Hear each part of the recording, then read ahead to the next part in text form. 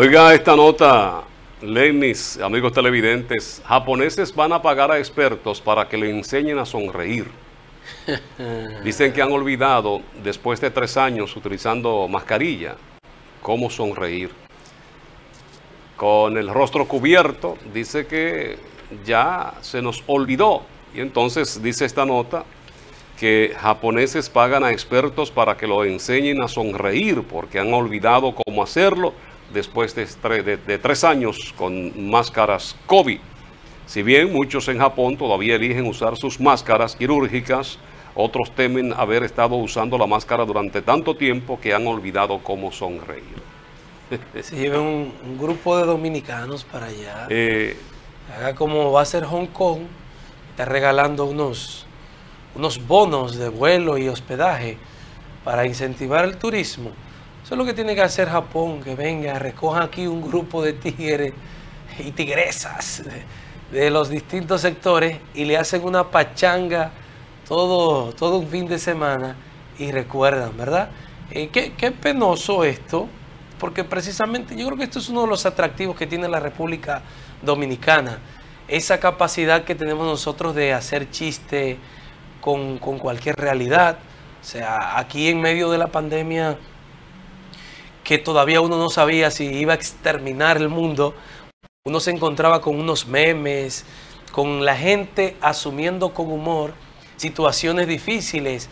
Es normal uno ir al hospital a ver una persona que no está bien y que esa persona te reciba con un chiste.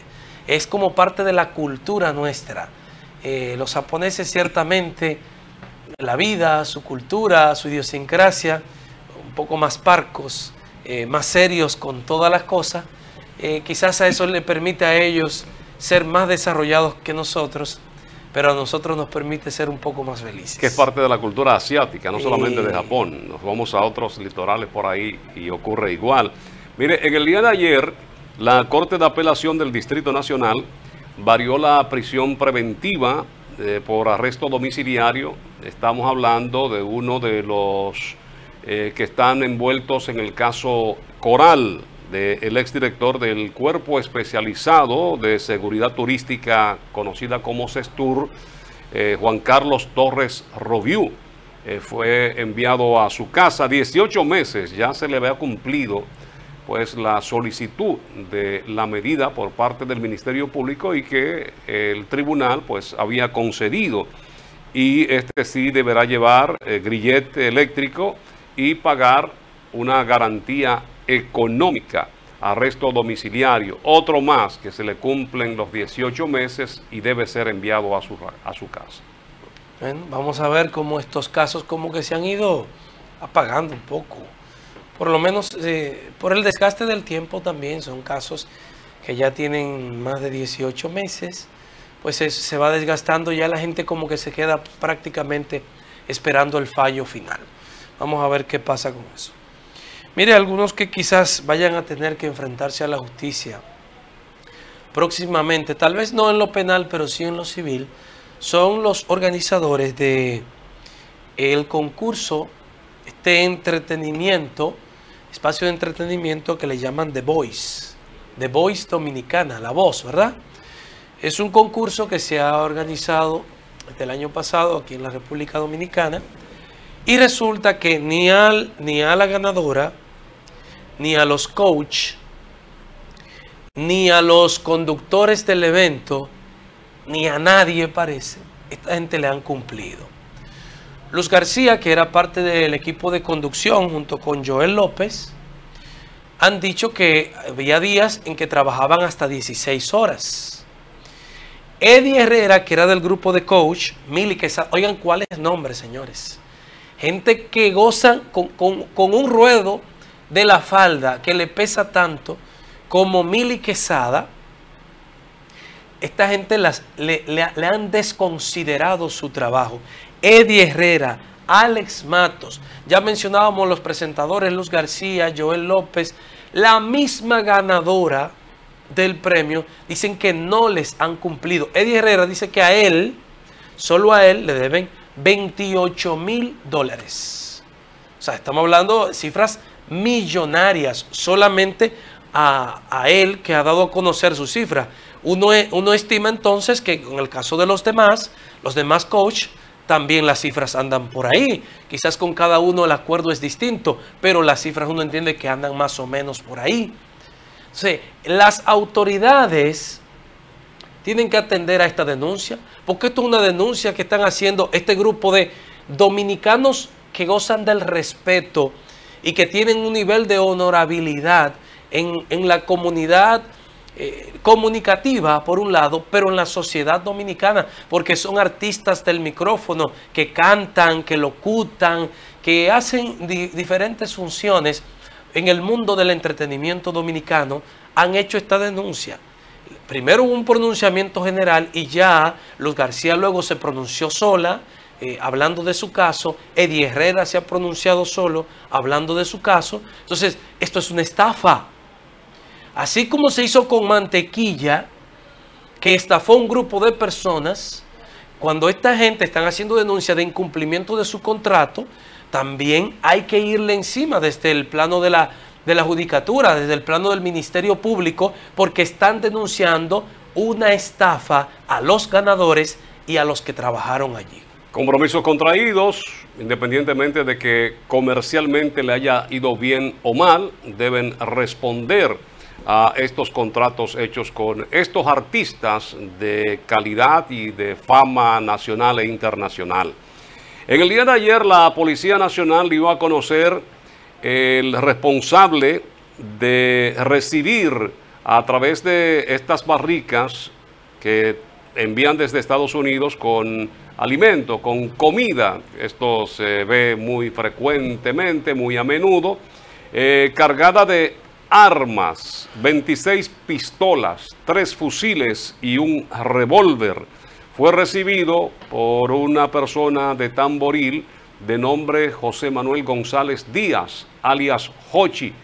Ya la policía lo ha identificado, lo ha apresado y uno espera también que la misma diligencia se estén haciendo en Estados Unidos de quien envió eh, esas armas, que aquí en gobiernos pasados pues se denunciaba de que llegaban muchas armas a través de estas vías y artículos que no pagaban ningún tipo de impuestos, incluso hasta a través de zonas francas se llegó a denunciar que llegaban muchos artículos que pasaban free, libre de pagar cualquier impuesto eh, que corresponda eh, para su entrada a la República Dominicana. Y ahí está. No es el primero, hay otras también denuncias, incluso hasta, hasta de drogas se ha hablado que se envían a través de eh, estos regalos, de estas, estos envíos que se hacen.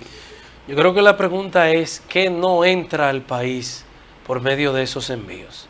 Porque ahí se habla de que, de que te mandan, señores, un motor de alto cilindraje te lo manda por pieza eh. dentro de, barricas, de esas barricas, ¿verdad? Que vienen selladas. Te lo mandan por pieza, un motor de alto cilindraje.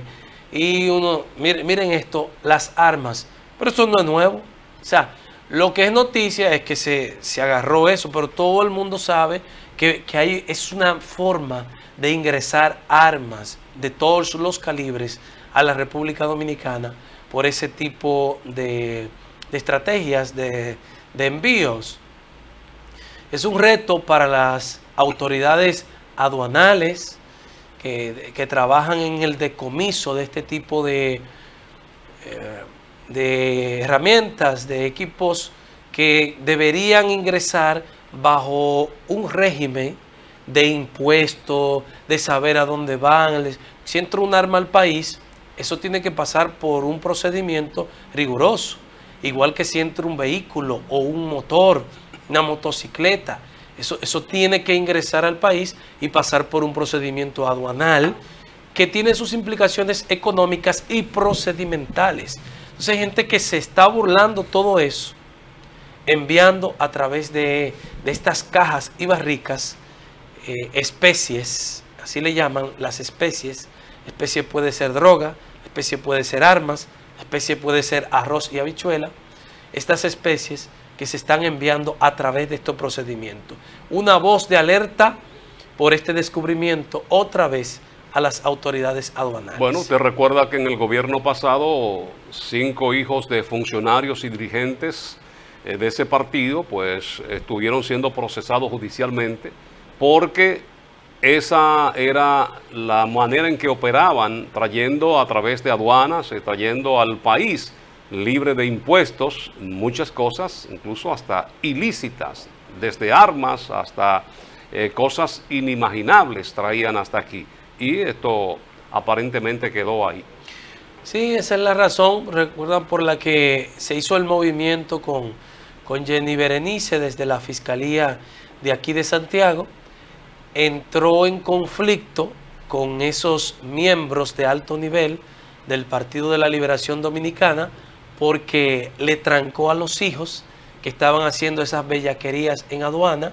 Se dice que parte de, del ingreso era para campaña de un destacado líder político que ahora está por otros predios, pero por entonces era un destacado líder político del PLD.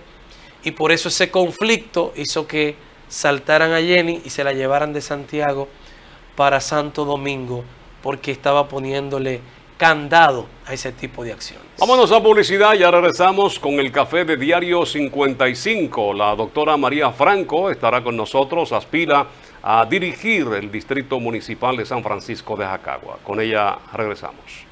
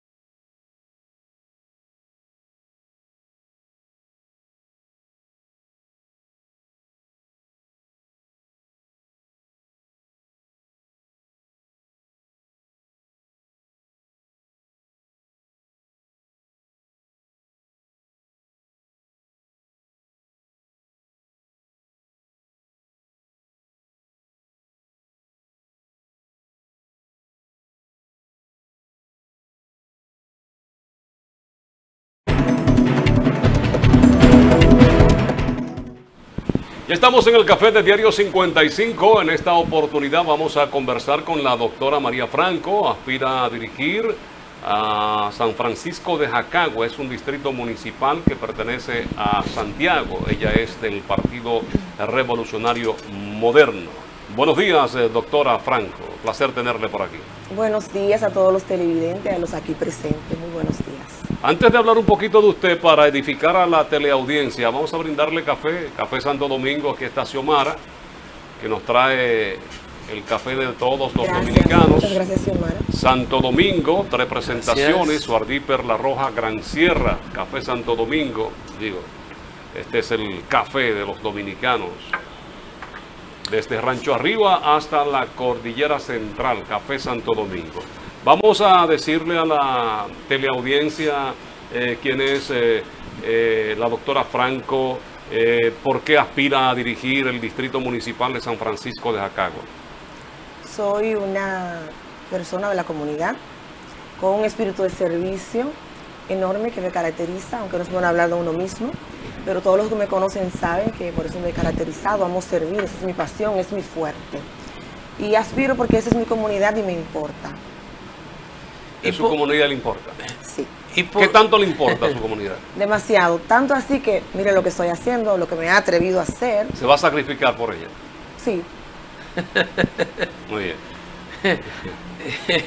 lo que pasa es que en la vida política, no se parece que se dice que, es difícil eh, asumir ciertos cargos pero hay gente que, le gusta, ¿verdad? Sí, sí, porque es un sacrificio realmente. Muchas veces usted en, sus consultas particulares, en su profesión, pues económicamente le va mejor que ocupando una posición, porque a veces tiene que desprenderse para poder satisfacer todas esas demandas y gente que necesita realmente la, mano amiga. Sí, usted yo creo que tiene conciencia de que si hasta este momento ha llevado una vida apacible, eso se acaba. Sí, ya está todo como más, ¿Eh? más, más, ajetreado de lo normal, más rápido, más diverso. O sea, son preocupaciones nuevas, eh, mucha información. ¿Qué le hace merecedor a usted de la confianza del pueblo de San Francisco de Jacagua?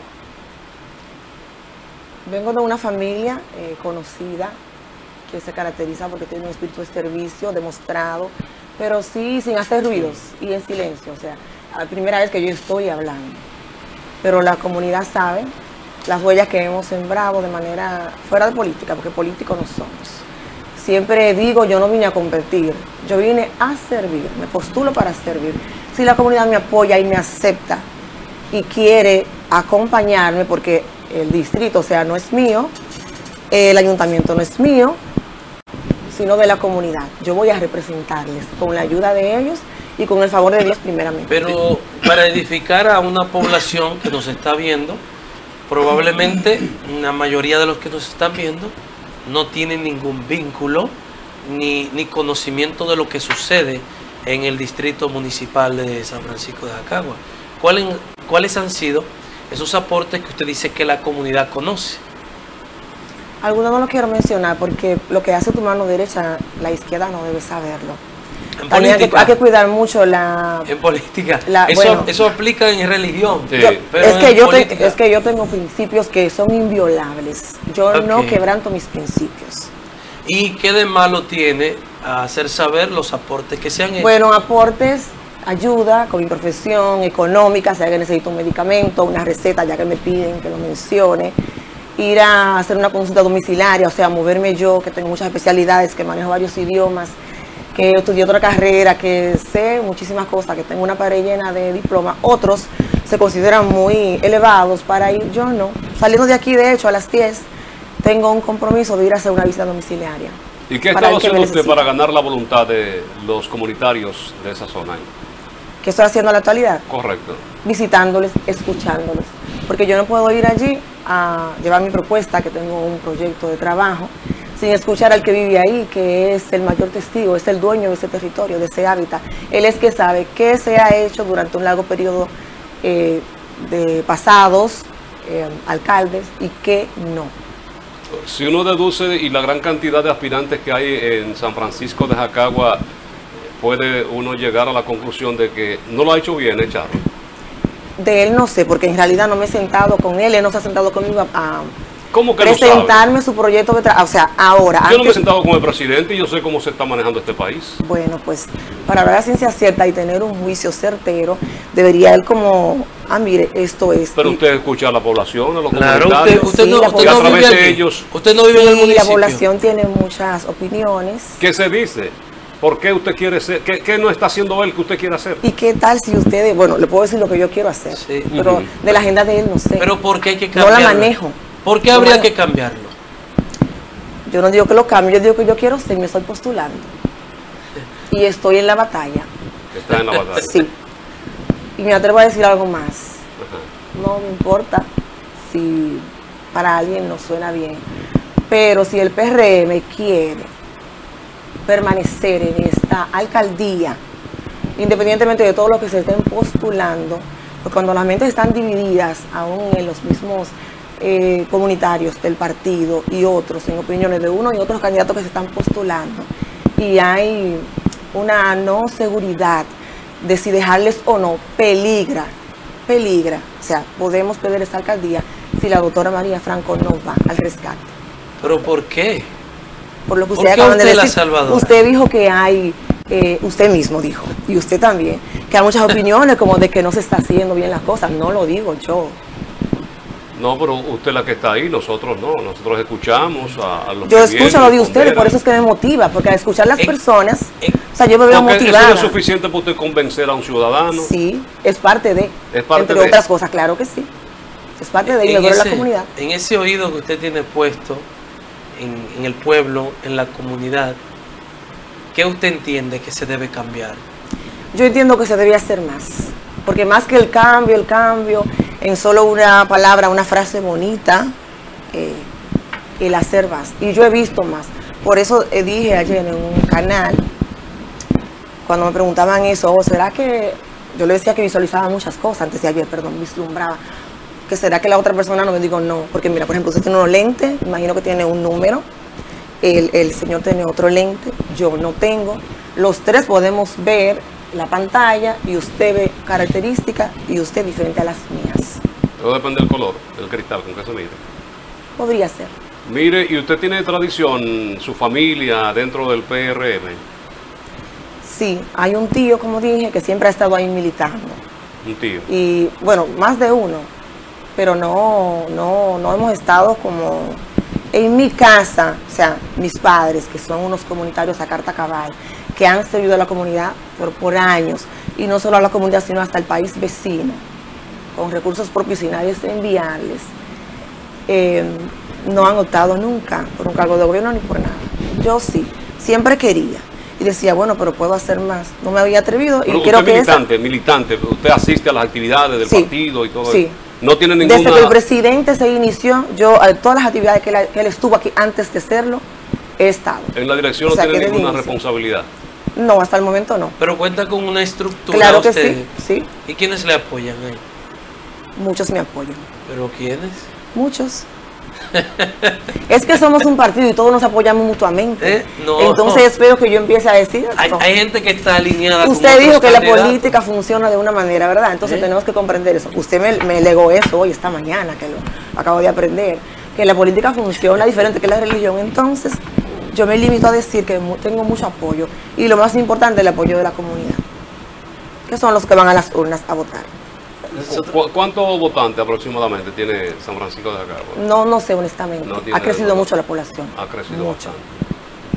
Se está recogiendo la basura, se están haciendo las aceras, los contenedores, tal y como lo establece. Yo como que debería ir entonces al ayuntamiento o ser invitada. Pero usted visita los barrios y usted escucha a la gente hablar, sí, doctora. Escucha a la gente la gente dice. Usted, usted, lo que la gente ve. Bueno. Pero, pero o sea, usted no conoce la realidad de la jurisdicción que quiere dirigir. Pero por eso estoy aquí. Si no, no estuviera aquí, sería en vano yo estar aquí. Y estaría en un consultorio, o estaría en otro lugar, o estaría fuera del país. Con más base, con entonces, con más base entonces para decir las cosas que no están marchando bien y por eso usted quiere enderezar el rumbo. No, no quiero ser juez. Yo propongo lo que yo quiero hacer. Ah, o sea, planteo lo que quiero. no, yo no me fijo nunca de lo que otros hacen. ¿Y cuáles son sus propuestas? Son muchas, pero solo voy a decir algunas. Por ejemplo, como la población ha crecido bastante, considero que un subcentro de salud es necesario, muy, muy necesario. Es necesario eh, rescatar. Allá, antes de pasar, ah. allá aquí hay una policlínica. Sí, una eh, policlínica de miles de años. yo considero como experta en la materia de salud, porque es lo que he estudiado y hasta hoy estudio, se necesita modificar, se necesita renovar. Pero, que, eso no corresponde al distrito, ¿eh? ya eso es gobierno pero, central. Pero no importa porque está ahí, yo soy conexión, yo soy la máxima autoridad del distrito, yo soy la que, la que busco, la que eh, conecto, la que hago que sea posible, la que tengo que moverme de mi asiento, ir a las comunidades para ver si se está haciendo la agenda que yo di y si no está, hacer porque funcione. Pero eso Ese es mi pensar. Eso lo pueden hacer otros movimientos dentro de las comunidades. Pero yo debo velar que se vea. Hay movimientos sociales que gestionan la construcción de escuelas, la construcción de hospitales, la construcción de canchas y play y clubes recreativos. O sea, eso no es una función del director distrital. Eso es una claro que el director distrital puede, pero no es una cosa exclusiva de esa persona. No es exclusiva, pero es parte de, pero no se hace si el director piensa como usted. Eso no es mío, eso hay, hay un grupo que lo hace, no se va a hacer, entonces su agenda se va a ver afectada. Eso es algo... perdón, se trabaja conforme a la necesidad de la comunidad. Y esa es una necesidad urgente, inherente, yo, yo, yo diría, de la comunidad. ¿Y qué otras cosas, aparte del hospital o de policlínica? El turismo. El turismo. Sí, allá podemos, tenemos las herramientas, no voy a dar mucho porque cada cual que tenga sus ideas y no siendo egoísta, pero sí, podríamos, eh, allá, allá un polo turístico importante. Podemos trabajar con la juventud también para tratar de menguar la delincuencia, que ellos, hacerles a ellos despertar otros intereses distintos a los que sabemos ya lo que está pasando. Bueno, más? Con las mujeres también. Tengo un proyecto, una guardería con los niños, entre otros. Vamos a publicidad, ya regresamos. La doctora María Franco está con nosotros. Ella es aspirante a dirigir la alcaldía del Distrito Municipal San Francisco de Jacagua. Ella es del PRM y con ella regresamos después de publicidad.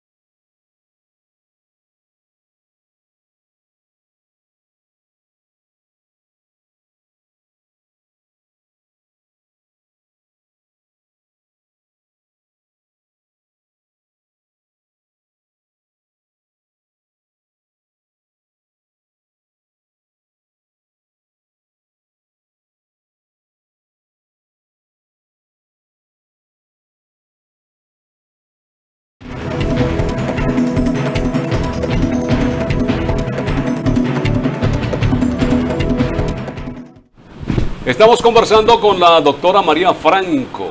Es del PRM, aspira a dirigir el Distrito Municipal de San Francisco de Jacagua. Con ella estamos conversando y vamos a seguir conociendo más de sus propósitos, de sus intenciones, de sus propuestas, ofertas a esa comunidad. Hablaba usted, eh, doctora, de desarrollar el turismo. ¿Cómo podemos desarrollar, qué atractivos tiene eh, esa zona? Muchos atractivos, pero el más especial que yo diría, eh, porque hay otros que la gente lo ha mencionado, son las ruinas, porque es, sería un turismo histórico, donde tengo un proyecto escrito que no voy a dar los detalles ahora, y creo que ahí hay historia, ahí hay un tesoro invaluable que se puede explotar en el buen sentido y en la buena manera. Muy bien, y ahí está también la cordillera septentrional con el pico Diego de Ocampo, que para lo que hacen ecoturismo también sería otro, otro gran atractivo. ¿Es la primera vez que usted aspira a una posición electiva? Sí, es la primera vez. Nunca antes esto había pasado por mi mente. Sí, tenía como la, el, deseo de algún día, de algún día, perdón, quizás, pero no estaba segura. ¿Y qué tal la experiencia con ese contacto con la gente, con la comunidad hasta ahora? Eh, es favorable y para mí es positivo y me gusta porque eso es lo que he hecho, estar siempre con las comunidades, siempre he estado con personas y, sirviendo, o sea, para mí esto es como mi zona de confort, o sea, no, no he salido de mi zona de confort en cuanto al contacto de las personas. ¿Qué tan difícil es para una mujer dentro de partidos que en su mayoría son hombres aspirar? Bueno, siempre he dicho que soy una mujer de fe. Para cualquier mujer esto sería casi imposible, eh, le daría miedo, pero yo soy una mujer anti-miedo, yo no tengo temor, yo me lanzo y soy decisiva y lo que yo inicio yo lo culmino. ¿Y cómo, están sus números? ¿Cómo usted ve la reacción? ¿Usted tiene el manejo de alguna información estadística en cuanto a posicionamiento se refiere? Hubo una encuesta. ¿Hubo una encuesta? Sí, que de verdad, o sea, si yo como que hago intento, yo, para que me entienda el público, coloquialmente, barro con todos. ¿O sí? Que barrí, o sea, barrí. Para que me entienda le voy a decir esa palabra. Entonces yo quedé del que sacó yo 38 y él 44. Y es porque yo no hice esfuerzo, honestamente, para la encuesta yo no hice esfuerzos. ¿Usted entiende que el trabajo que usted ha hecho eh, a nivel eh, de solidaridad eh, es el principal aval que usted tiene allí? No, no puedo decir esto porque digo, lo que hace tu derecha, tu izquierda no debe saberlo y viceversa. Sí, pero no tiene que detallar lo que ha hecho. Sí, pero no quiero que sea que esa es la clave. No, no, me doy aunque ahorita saliendo de aquí yo diga, no, dejo esto, no, no lo voy a seguir. Lo que hago lo seguiré haciendo y es con amor y eso no me cuenta. Me va a contar eh, más que todo mis principios, mis valores y la propuesta que llevo eh, con la gente. O sea, la propuesta que llevo he tenido mucha acogida. De hecho, he recibido llamadas, mensajes por diferentes redes sociales diciéndome que me van a apoyar, que qué bueno, que cuentan conmigo todo el mundo, que hacia adelante. O sea, cuento con esto, cuento con la gente, no por nada que yo haya hecho. ¿Usted entiende que con el presupuesto que maneja ese ayuntamiento puede hacer más de lo que se está haciendo hoy día? En mi gestión yo trataría de llevar la agenda que le propusiera desde el inicio sin salirme de ella. Y cuando usted habla con la gente, ¿qué le dice? Mire, nosotros queremos esto. qué le dice la gente? La gente me habla de, la calle, la gente me habla de la recogida de la basura, me habla de la iluminación, me habla de las fechorías, me habla de, medio ambiente, me habla de medio ambiente, me habla de todo, me habla de necesidades económicas, personas bajos recursos, medicamentos que necesitan de techo, necesitan su techo de la casa, me habla del agua potable, ese es el mayor y, y ahí es que yo quiero, o sea, cuando esté, lograr las conexiones que sean pertinentes, porque esa es la mayor, la mayor preocupación de la comunidad, el servicio de agua potable, entre otras Pero se supone que las cosas deben ser mucho más fáciles cuando es un ayuntamiento que el gobierno central pues está alineado, es el mismo. Y aquí tenemos a Corazán, que me imagino son los que deben suplir de agua a la comunidad de San Francisco de Jacagua y como son del mismo gobierno, del mismo partido, pues yo creo que las cosas debiesen ser mucho más fáciles de conseguir. Y usted, usted dice que adolece todavía de... Yo no lo digo. Si recuerda, le dije, usted me dijo, ¿qué me dice la población? La población me dice esto. La población me dice esto. Porque, por ejemplo, en mi casa, en mi casa, tenemos cisterna de muchas capacidades. Siempre la abastecemos. Siempre la abastecemos. Tenemos un pozo que la comunidad se benefició, porque prácticamente se hizo para ello. Ahora el pozo se está como reaperturando otra vez porque arreglábamos mucho la bomba y los que la usaban la dejaban dañar, esto cuesta, pero otra vez vamos a repetir, nunca hemos faltado porque siempre nos preocupamos, no dependemos, ¿verdad?, de ciertos servicios aunque lo paguemos. Es decir, que desde la posición más importante en el distrito municipal, usted quiere hacer lo que ha venido haciendo su familia desde hace mucho tiempo, identificarse con la comunidad, ser soporte de la comunidad. Sí, eso es. Por eso hablo servicio, ahí le abarco todo. Eso es lo que quiero, lo que desde pequeña vi hacer a mis padres, que hasta hoy lo hacen. E, ese es mi plan, ese es mi único objetivo, lo único que me mueve a esto, más nada. No hay otro interés particular. Que el servir. Sí, el servir. Y, usted no importa cómo sea la modalidad para elegir eh, el candidato, usted entiende que en cualquiera de estos aspectos usted va a ganar. Claro, con el favor de Dios. Si soy yo, soy yo y soy mujer y creo que llegó el momento de que una mujer sea la que tome las riendas de la alcaldía y pueda gobernar de una manera diferente, como siempre vengo diciendo, porque se está gobernando de una manera diferente. Tenemos un presidente que es muy diferente a todos los que han pasado eh, en la, eh, anteriormente. ¿Y cómo ha estado el apoyo de sus compañeros de partido? No puedo quejarme. No se puede quejar. no puedo quejar. Gracias, gracias. Ustedes saben quiénes son. Gracias. ¿Le apoyan? Sí. ¿Y caminan con usted o, están de manera anónima por detrás? Caminan conmigo. De hecho, el domingo tuvimos eh, algo de mucho éxito que luego daremos a conocer. Bueno, la comunidad que estuvo ahí sabe porque eh, conectamos personalidades de distintos puntos del distrito para que ellos sean los portavoces. ¿Ha tenido usted que hacer su cocinadito con, los grupos, doctora? Sí. Bueno, la, cocina eh, para mí es arte y soy un poquito buena en la cocina. Y porque a través de eso se consigue mucha gente y se convence. No siempre. Antes de estar en esto, los que me conocen saben, me dicen que yo soy una chef. Yo no me creo así. Es que cuando amas lo que haces, cuando tu servicio es en excelencia, ese es mi lema. Mi servicio es en excelencia. Si le va a dar una consulta, no me importa si usted me va a pagar o no, yo no miro eso porque yo no dependo de eso para subsistir. A mí me ayuda Dios a subsistir. Es mi proveedor, mi proveedor principal yo me doy por entera sin esperar nada a cambio. Siempre lo he hecho, mi familia también ha alimentado muchas bocas de manera voluntaria, o sea, eh, complacida, porque eso yo lo traigo en la sangre. ¿Sus consultas eh, como doctora eh, son privadas o le sirve al Estado? En un tiempo estuve contratada por el Estado en la atención primaria, que me encanta, y solamente recibía una parte de los de los o sea, del pago, pero solo por la medicina general.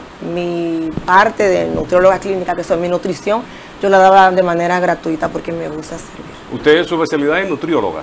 Sí, pero no estoy optando por, por nada del Estado hasta el momento, no. No, no tengo ningún cargo en el Estado. ¿Su intención es eh, dirigir eh, el distrito municipal? Sí. Es mi intención, es mi objetivo. Con el favor de Dios siempre digo. Ya, ¿Y, cómo están las relaciones con las altas instancias del partido? Están buenas. ¿Están buenas? No puedo quejarme. Sí, están buenas. Están buenas. Bueno, pues eh, estamos conversando. ¿Tenemos publicidad o ya tenemos... Bueno, vamos a publicidad y ya regresamos. La doctora María Franco está con nosotros. Ya regresamos con los minutos finales.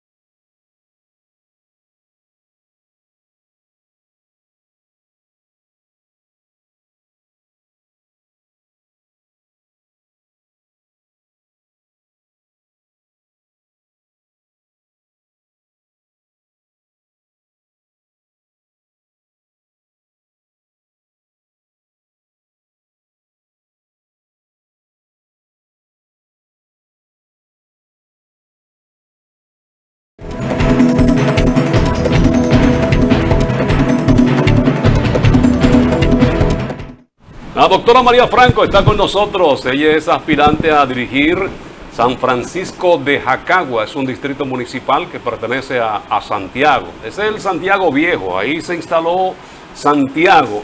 Producto de un terremoto, pues entonces fue movido a orillas del río Yaque del Norte. Y ahí están las ruinas, unas ruinas que han sido dejadas correr a su suerte, doctora. Entonces usted piensa rescatarla para que sea un atractivo turístico también de esa zona. Sí, creo que puede beneficiar a los eh, que están en las ruinas, los propietarios, y también al turismo, a la comunidad y a la nación, porque si mucha gente va a México, no voy a mencionar los lugares, eh, si va a Guatemala, que hay unos atractivos turísticos hermosos, si se mueve eh, a la India, ¿por qué no a República Dominicana y por qué no a Santiago? Claro, claro. ¿Y tiene usted programadas algunas actividades para este fin de semana? ¿Estará en contacto cara a cara con su gente? Sí, tenemos planeado, o sea, la agenda está llena. Gracias a Dios la agenda está llena. Vamos a enviarle un mensaje a toda esa comunidad votante de Jacagua para eh, que el día que llegue la decisión de echar el voto para elegir a su propio, a su próximo eh, pues, director, eh, piense en María Franco. Comunidad de Jacagua, siempre lo describo igual. Gente trabajadora, gente honesta. Gente que piensa en el progreso, gente madrugadora, gente que siembra, que cultiva. Tenemos que rescatar toda la, la agricultura, hay mucho por hacer, aquí estoy, estoy para servirles. Agradezco sus mensajes, agradezco cómo me reciben con este calor y ahí estoy para servir, sumando a la agenda que tengo cada uno de los detalles que ustedes me han solicitado. En la agricultura, a propósito que usted lo, lo menciona, la parte económica más importante de ahí, o trabajan en Santiago, trabajan en otras áreas trabajan en Santiago. Recuérdese que como se ha dejado un poco de lado, esta generación eh, tiene otra visión que no es la tierra, pero debemos, o sea, hay una oportunidad todavía para a ellos decirles que, que sembrar es importante, porque la alimentación es básica, viene de la tierra. Los otros son alimentos transgénicos, la mayoría, de los últimos tiempos, entonces eh, los jóvenes se van afuera porque no tienen una orientación para también invertir adentro y cultivar la tierra. Muy bien, pues gracias a la doctora María Franco por habernos acompañado en esta mañana en el Café de Diario 55. Eh, como bien eh, vieron, es aspirante a dirigir el Distrito Municipal de San Francisco de Jacagua. Es del Partido Revolucionario Moderno. Suerte, éxito en este propósito es importante que la mujer también esté involucrada, la mujer que es parte esencial en el núcleo, en la familia. A ustedes gracias por la sintonía. Mañana Dios delante, después de la misa, a las 7 estaremos compartiendo otra entrega más de Diario 55 y luego el café. En nombre de Lenis Tejada Betancur, Adalberto de León, Frank Rodríguez y todo el equipo que conforman las mañanas del 55, agradecemos su sintonía. Pasen feliz resto del día.